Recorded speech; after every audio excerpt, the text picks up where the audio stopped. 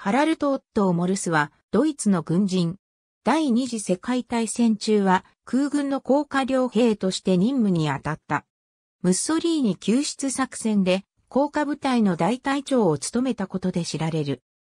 1943年9月12日に実施されたムッソリーニ救出作戦では高架両兵及び武装親衛隊からなるコマンド部隊の隊長として部隊を率い、グランサッソの山頂にグライダーで降下し、ベニート・ムッソリーニが幽閉されていたホテルへ突入して、ムッソリーニを救出、保護のために随行していた武装親衛隊のオットー・スコルツェニーに引き渡した。この功績により、同年9月26日にドイツ黄金十字章を授与されている。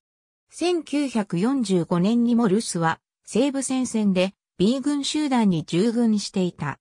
しかし B 軍集団はアメリカ軍第3軍にルール工業地帯で包囲され、3月には彼自身も捕虜となった。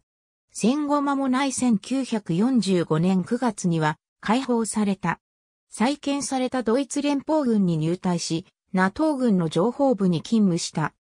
最終階級は大佐。この間にグランサッソ襲撃に関する記録を残している。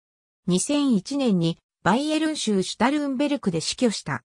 ムッソリーニ救出作戦に従事した際のモルス本人が写っている記録写真が残されている。ありがとうございます。